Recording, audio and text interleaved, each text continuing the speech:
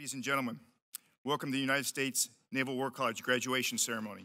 I am Captain Patrick Keys, the Dean of Students, and will be serving as the MC for today's ceremony. You are welcome to take photographs at any time throughout the ceremony.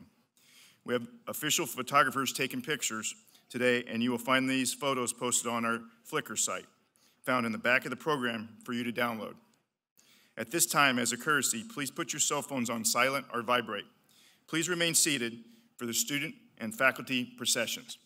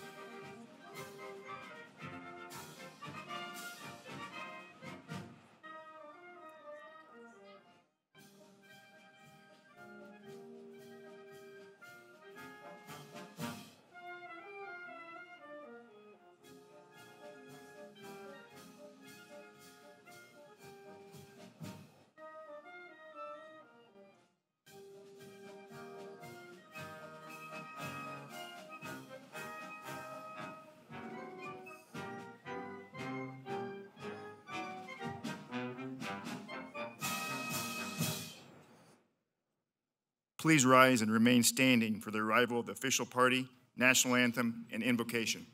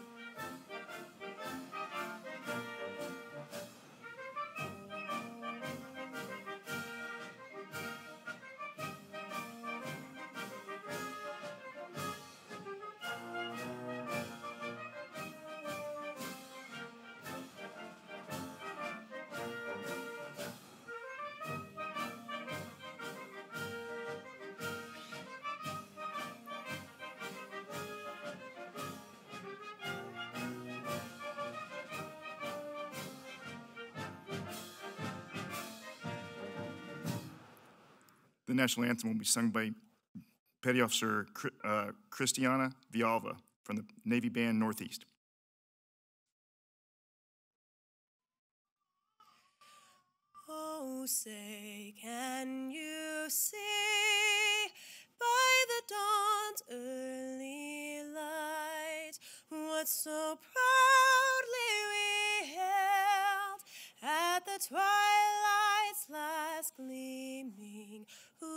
Broad stripes and bright stars through the perilous fight. O'er the ramparts we watched were so gallantly streaming,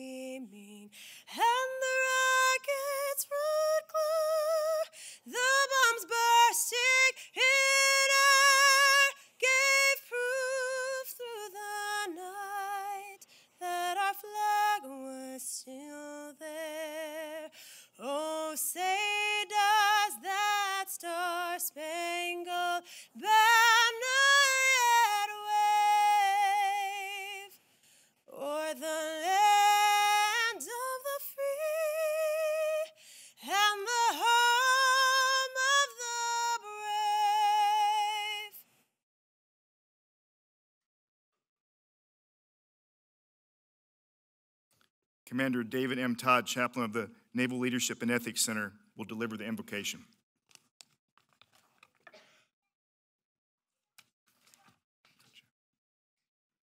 Let us pray. Almighty God, we pray your blessing upon these graduates of the College of Naval Command and Staff and the College of Naval Warfare we gather to honor today. Your word reminds us to whom much is entrusted, much is required. As this time of study, reflection, critique, and refinement comes to a close, we give you thanks for sustaining them through every test, exercise, and paper, and the perseverance that enabled them to run the course with endurance. As they return to the fleet, grant them wisdom in applying the knowledge and skills they have mastered through this course of instruction. Instill in them a passion to demonstrate creativity and initiative in the face of complex challenges ahead, forging through these uncertain times with unwavering conviction. In the midst of every confusion, complacent compromise, and complexity that characterizes the battle space of our times, give them eyes to see, hearts and minds to grasp, and wills to demonstrate fidelity to the moral character demanded by our nation's highest aspirations. Bless also the faculty and staff that have instructed, challenged, and demanded more of these students that they might be fully equipped and ready for the task ahead, and for the family and friends who have encouraged and supported them. We pray you would use this ceremony to stir in each of us present a renewed desire to engage the challenges that lie ahead and a firm commitment to fulfill our role in serving the cause of security, prosperity, and peace for all. Looking forward to the day when your truth, justice, and righteousness shall reign forever. Amen. Thanks, Jeff. You may be seated. It gives me great pleasure to, introduce the members of our official party. Rear Admiral Michael White, Dean, College of Maritime Op- Operational Warfare. Rear Admiral Margaret, Margaret Klein, Dean, Leadership and Ethics. Dr. Tim Gerald, Deputy Dean, College of Distance Education, Professor Tom Culora, Dean, Center for Naval Warfare Studies, Professor Robert Winnig, Deputy Dean, International Programs and Maritime Security Cooperation, Dr. Phil Hahn, Dean of Academics, Dr. Lewis Duncan, Provost, United States War College, Dr. Robert Hutchinson, Strategy and Policy Department, and Rear Admiral Jeffrey A. Harley, 56th President of the United States Naval War College. Several years ago, we began a tradition at the U.S. Naval War College of allowing the graduating student body to nominate their guest speaker from amongst all the talented professionals at the college. I would like to ask graduating student Commander Andreas Helchinger to introduce your faculty guest speaker. Hans, come on up.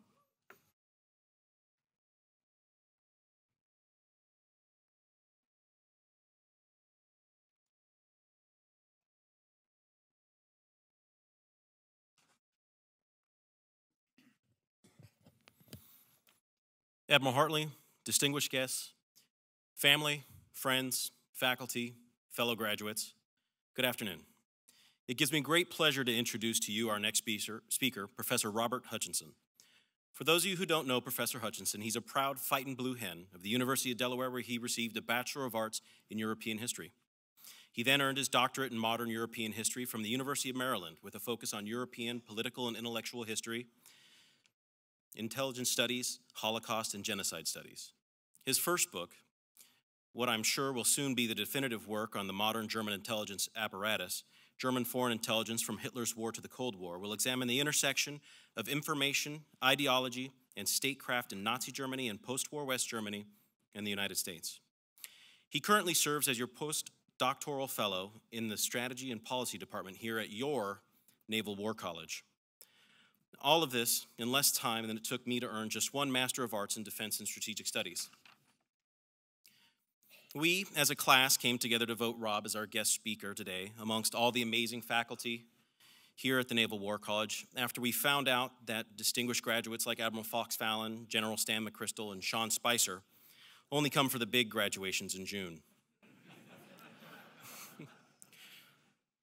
For those of you who know Rob and had the privilege of sitting in seminar with him, know he's an indefatigable fountain of knowledge with the unique capability of being able to occupy the headspace of Kaiser Wilhelm and detail the finer points of President Johnson's foreign policy rationale. Rob truly manifests what it means to be a great professor. He and his military professor counterpart, Captain Mike Marston, work seamlessly and artfully together to guide our seminar discussions through complex and contentious course material. He deftly encouraged cooperative, argumentative dialogue between a diverse group of U.S. and international officers, and at times lively group, and stimulate critical thinking. With a back and forth of asking and answering questions with plenty of historical background and certainly no political science, he was able to draw out ideas and cultivate an environment of self discovery. He probably allowed me the leeway to derail maybe a few too many discussions with offbeat but very apt popular references, but he and Mike were always able to guide the group back to a learning objective. Those of us that had the pleasure of working with Rob will surely remember him. He's made an indelible mark on our graduate studies and are all better off for having learned from him. Ladies and gentlemen, Dr. Rob Hutchinson.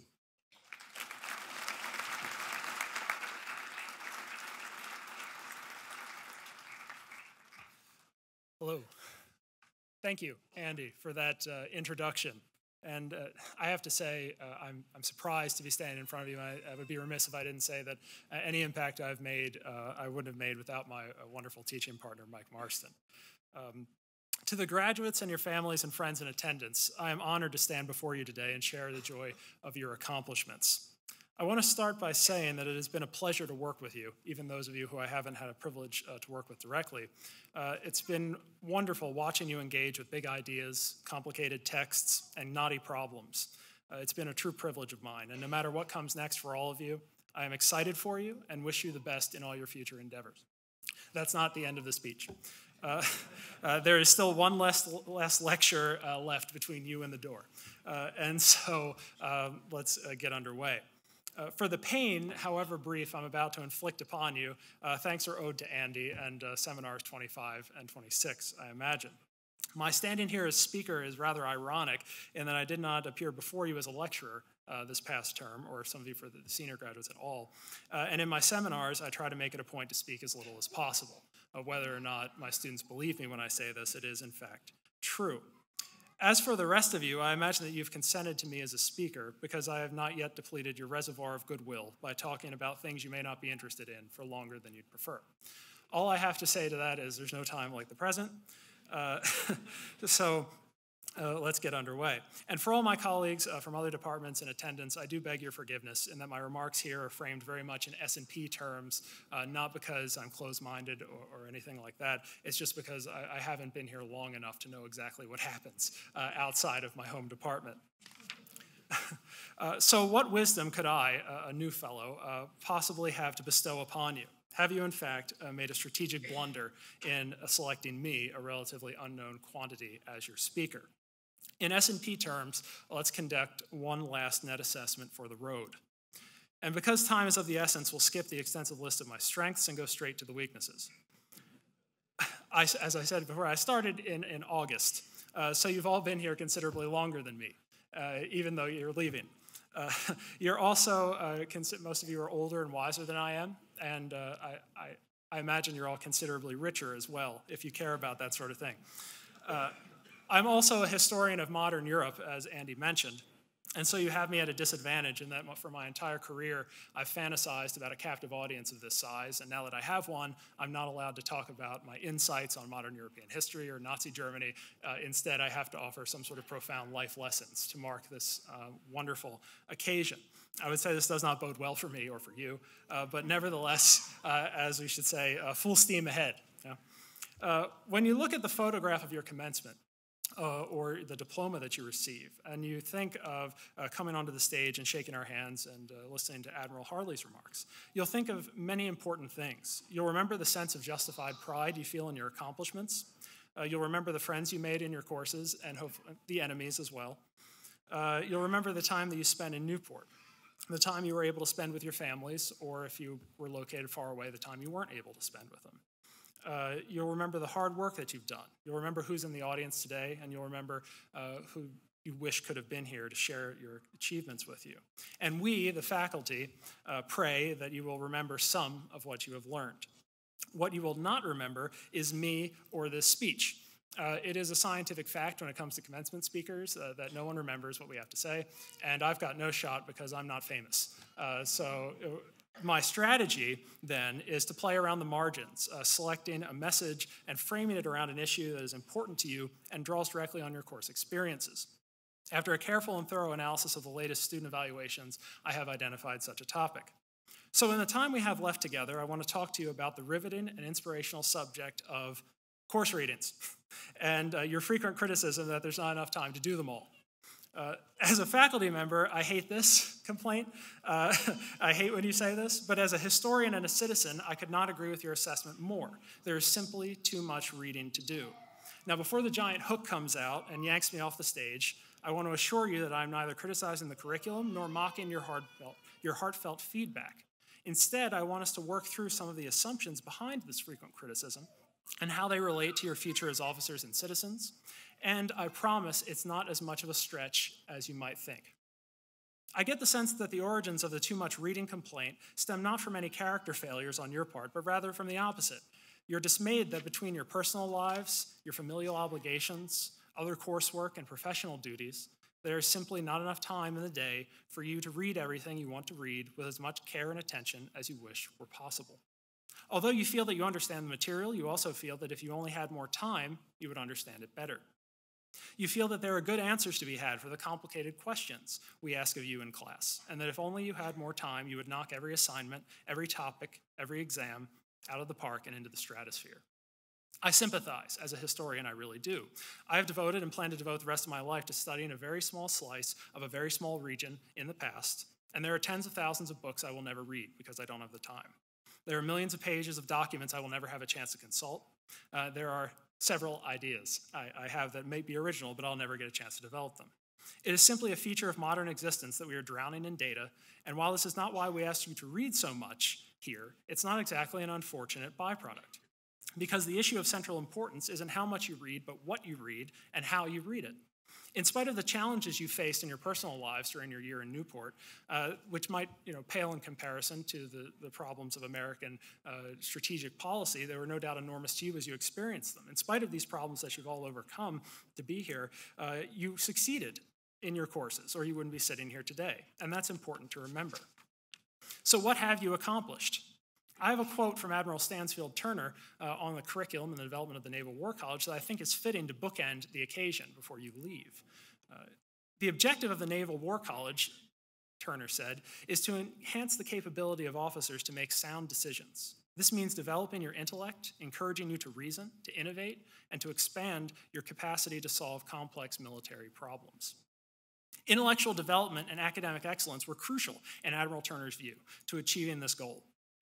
What we ask you to take forward with you as you leave here, then, uh, apart from the ability to make an appropriate Clausewitz remark for any occasion, uh, is a way of thinking, a methodology of problem solving that stands apart from any content you may have learned along the way. And we ask that you use these tools to grow intellectually and to continue to improve. Lifelong learning, after all, is not a distraction from the real work you have to do or the life you are living, but rather is essential to them both. Consider the domain of war which, since this is a war college graduation, I would be remiss if I did not consider it. Uh, consider the domain of war, which is arguably the most complicated of human endeavors, a domain where, as you are no doubt sick and tired of hearing, Clausewitz lamented that even the most simple thing is difficult, and where the constant difficulties posed by chance and the rigors of operations result in unceasing frictions, with your imperfect knowledge of your opponent conjuring an impenetrable fog. That was 200 years ago. Today, this fog, while perhaps not as thick, is accompanied by a blaring cacophony of chatter, drawn from social media, drone feeds, digital surveillance, and other such technologically driven resources of modern information gathering that Clausewitz never dreamed of, or frankly, cared to dream of. Although in Clausewitz's time, this environment of fog and friction posed a unique danger to officers and leaders paralyzed by uncertainty, in the present, the vast quantity of information you will have at your fingertips now and in the future poses a risk of self assessment from the other direction, in the sense that it is all too easy to forget that there are many things you do not know.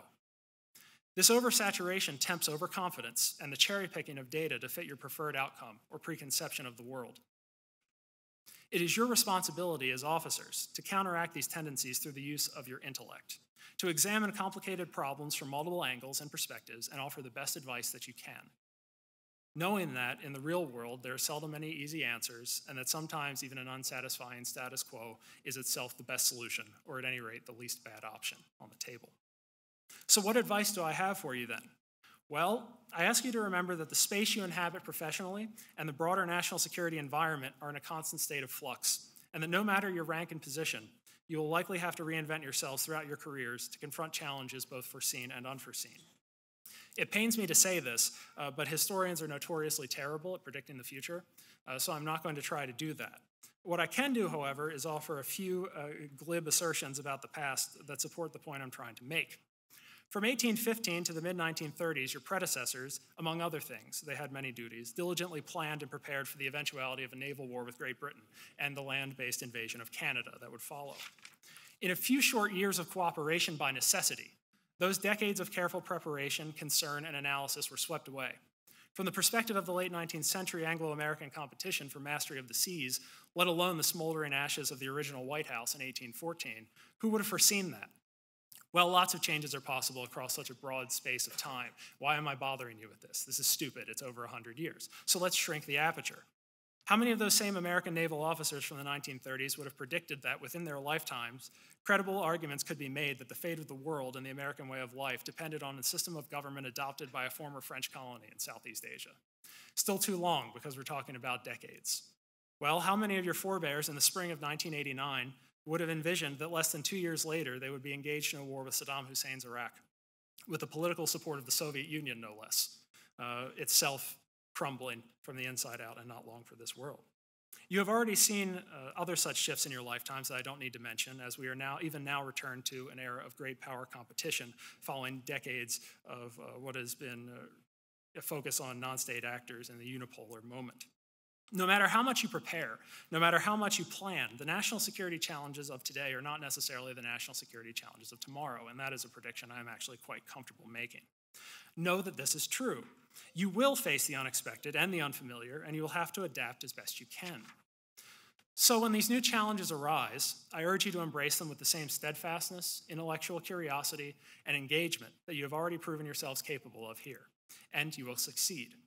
When you need to become an expert on a new subject overnight, whether it's a weapon system, a strategy, a proposal, an assignment, or just the everyday decisions of life who to vote for, where to send your child to school, how best to care for an ailing family member I would implore you to remember that there is an infinite amount of information at your fingertips, and you will never have as much time as you wish to solve the problems that need solving.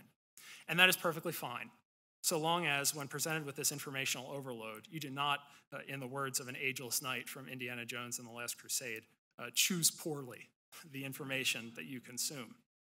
When confronting tomorrow's challenges, foreign or domestic, I urge you to be flexible, to be resilient, read widely, seek out compelling arguments, especially if they sit uncomfortably alongside your ingrained beliefs and preconceptions. And in difficult periods, when time is lacking and the solutions in front of you unsatisfactory, always remain guarded against the false comforts of cynicism and fatalism. Most importantly, in consideration of the overwhelming amount of information pertinent to the many roles you have in your lives, do as much of the reading as you can and make every effort to choose wisely, as you have already shown that you can do. And with that, I take great pleasure in once again congratulating the newest graduates of the U.S. Naval War College. Thank you. It's my honor.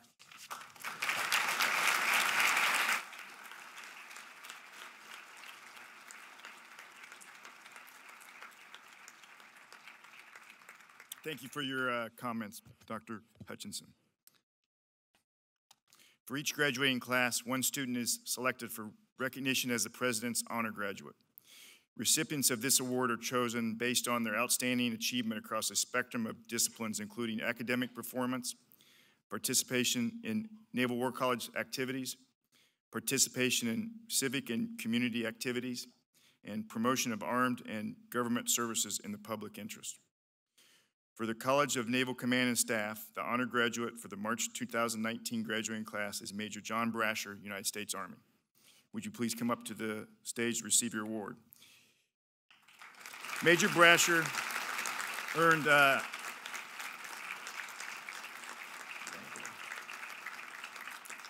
Major Brasher earned an academic average of 93.18, served as the XO for a TSDM final exercise and JMO capstone event, serves as, served as a PTO volunteer for Pell Elementary, and conducted a leadership professional development event as ROTC unit at the University of New Mexico. Along with the certificate, he's receiving an engraved and Path accomplished from Naval War College Foundation President Rear Admiral Glenn uh, um, Whistler, United States Navy, retired, former chairman of the Board of Trustees. Admiral Whistler, please come to the stage.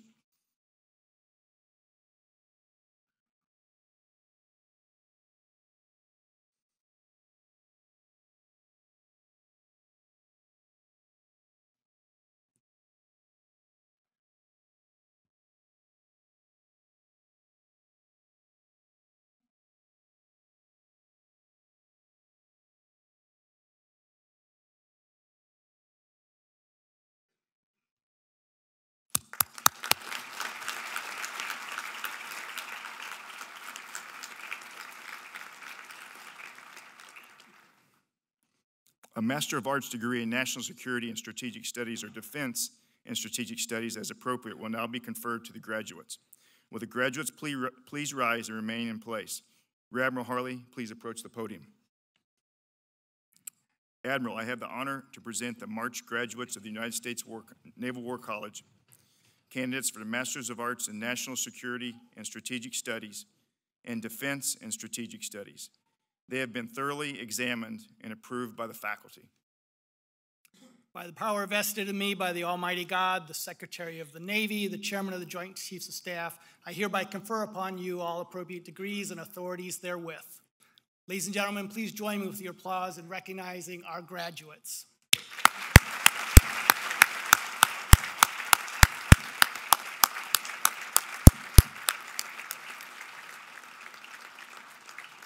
Thank you, sir. Graduates, please be seated. Beyond the requirements for graduation, certain individuals have distinguished themselves through academic excellence. For those in the top 5%, they're receiving a diploma with highest distinction. Those in the next 15% will receive a diploma with distinction. Graduates will now receive their diplomas. Graduates, please proceed to the stage as your name is read. Guests are welcome to come forward to take photographs. Please try to hold your applause until all names have been read. Rear Admiral Harley, Dr. Hutchinson, Dr. Duncan, and Dean Hahn, please rise.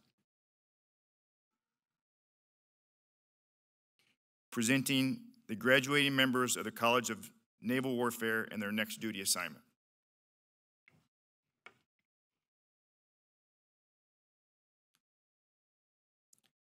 Commander Rafael R. Casalejo, United States Navy, PMW 760, Space and Naval Warfare Systems Command, San Diego, California.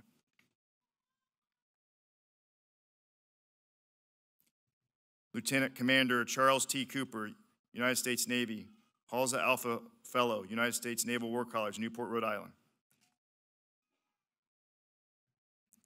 Commander John R. Dye, United States Navy, U.S. Naval War College, Newport, Rhode Island. Commander Andre L. Fields, Supply Corps, United States Navy, Naval Sea Systems Command, Washington, D.C. Captain Mark S. Niswadomi, United States Navy, Commanding Officer, Naval Base, San Diego, California.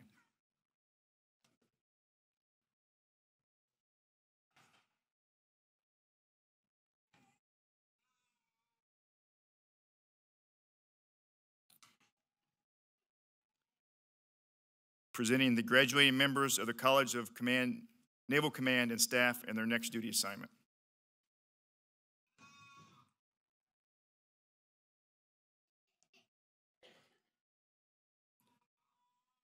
Lieutenant Anastasia Sky Abbott, United States Navy, Surface Warfare Officer School, Newport, Rhode Island. Lieutenant Commander William M. Adams, United States Navy, VFA 154, Naval Air Station, Lemoore, California. Lieutenant Commander Brian M. Allen, United States Navy, Officer Training Command, Newport, Rhode Island.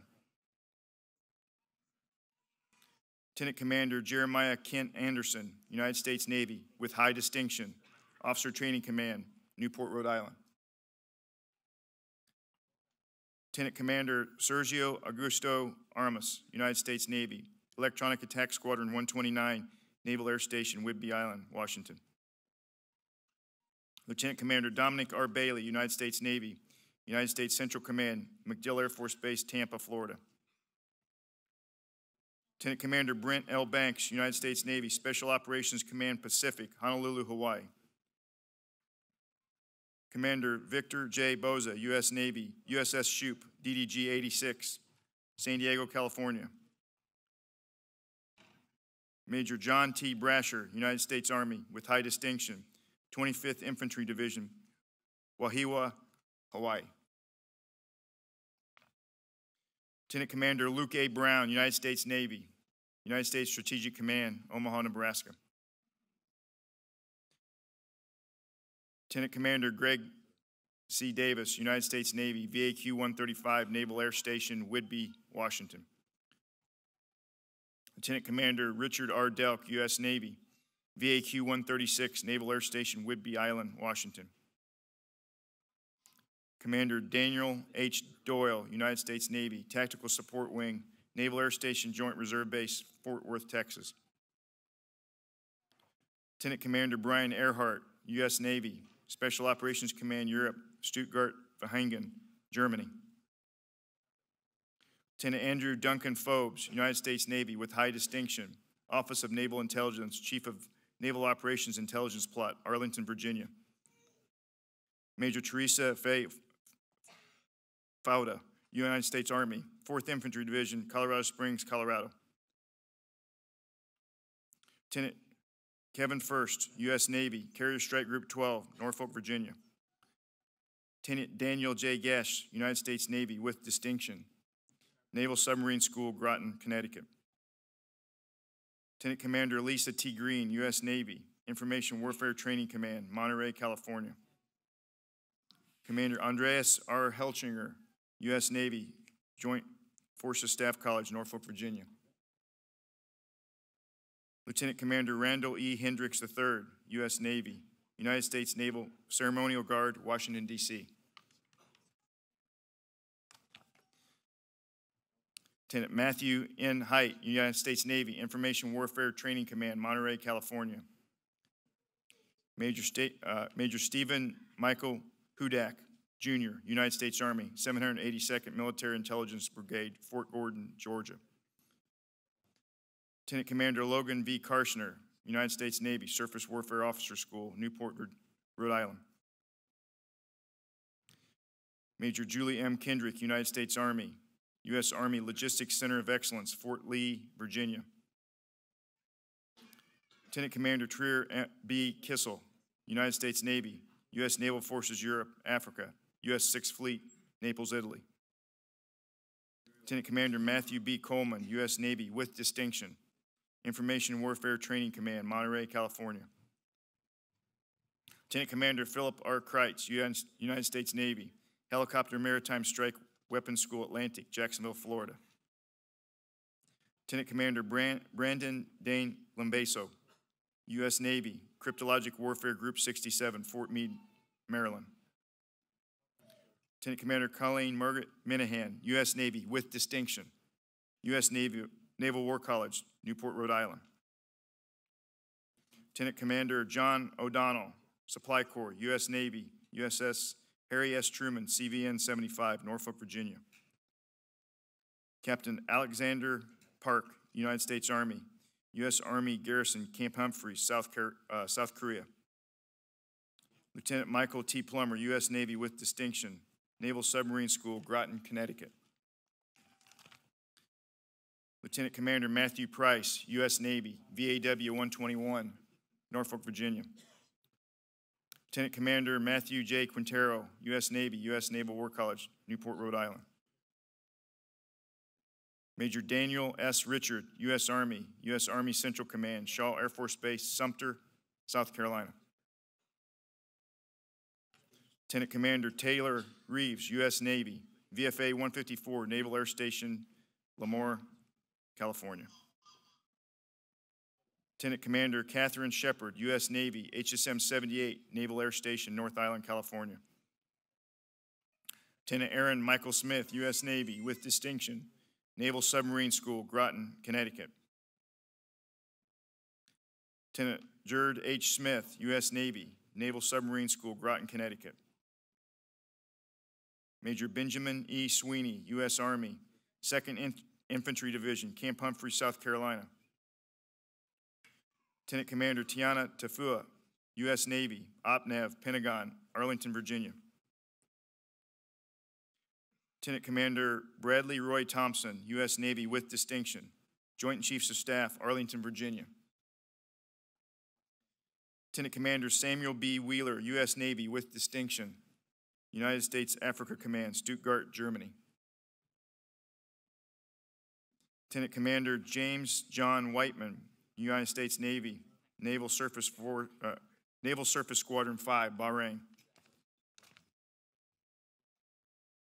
And last but not least, Lieutenant Commander Daniel Morgan Wiltfang, U.S. Navy, Joint Planning Support Element, Norfolk, Virginia.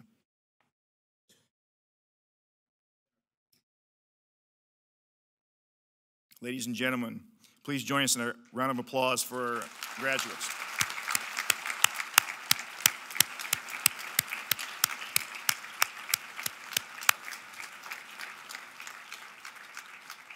Admiral Harley will now issue the charge to the graduates. Ladies and gentlemen, distinguished guests, Admiral Whistler, family and friends, welcome and thank you for attending. To our graduates of the class of 2019, today you join the long line of Naval War College graduates that extends back over 134 years, a history you now share with those who came before. Your dedicated efforts and hard work have helped to define your skills and growth as members of your respective professions. I also want to point out that everything we as a staff and faculty were able to do for you this past year was, in one way or another, due in part to the outstanding support of the Naval War College Foundation. The contributions of the foundation were able to do far more than just another college. As each of you return to your positions of great responsibility, in government, at headquarters staffs, leading forces in combat, and even to the last full measure of devotion, Your charge is to think critically, to dare greatly, and to fully utilize your heightened understanding of strategy and the elements of national power. I charge you to remember the camaraderie and the experiences that you have shared during your time at this great institution of learning, and to continue to be the best warfighter you can be, and to be ready for the terror of war if it comes. I charge you to realize your strength through being ready emotionally, spiritually, and physically to be the decisive leader you must be, to replace fear with trust, to show humility, to have integrity, to be respectful, and, as the great philosopher Cinderella said, to have courage and be kind. I charge you then to have courage and to harness it, to know that your faith in God or in your great nation is not misplaced, that your sacrifices keep this nation free. But above all, I charge you to distill the essence of both your courage and your intellect into your profession, into all that you do. General Patton said, Courage is fear holding on a minute longer. Well, the critical thinking skills you have learned here will give you the extra minute you need to rise up to these challenges and any fears that you might face. So, this charge is really yours to go forward now and to do what needs to be done to be the individuals who will determine the strategy and contribute to policy at the highest levels, to carry the day with an articulate and timely idea. This is your duty, this is your responsibility, and this is your time. And finally, I direct your attention to the great Wakandan philosopher Ayo from Black Panther fame and ask you to remember you are more than your service. You are so much more than your service. We will continue to serve, but from this day forth, our eyes will be open. We'll serve, but we also think and act and what we think best. This is the skill set given to you by this great college. On behalf of the Naval War College faculty and staff, I wish Godspeed to you all. God bless our great nation. God bless our great college. God bless our gifted faculty. And God bless us, everyone.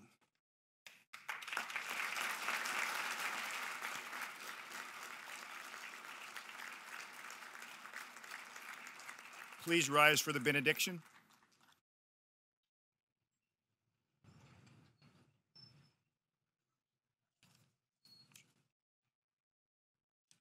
Let us pray. Eternal God, as you have graced us with your presence, so send us out with your approbation, presence, and peace. Entrust to these leaders the spirit of a scholar warrior, ever seeking a deeper understanding of the forces at play in the field of battle a greater appreciation of the operational arena, and a more precise way forward in the hour of complexity and crisis. Enable them to maintain steadfastness of purpose, fidelity to their nation, and dedication to the high principles of honor, courage, and commitments in defense of justice, freedom, and liberty for all. Kindle anew a spirit of self sacrificial service that will fuel the development of those they lead and spur them on to excellence. Grant that we may all remain resolute and faithful in our particular places of responsibility, demonstrating by our every word, thought, and deed the honor, courage, and commitment to which we have been called. Amen.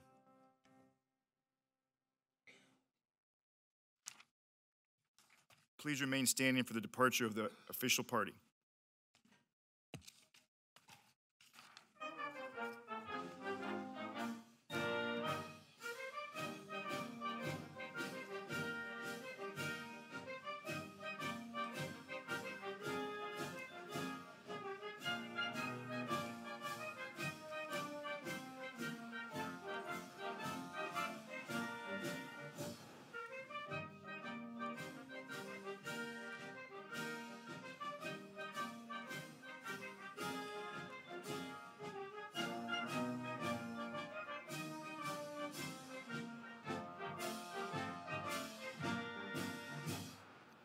This concludes our graduation ceremony. Thank you for joining us this afternoon.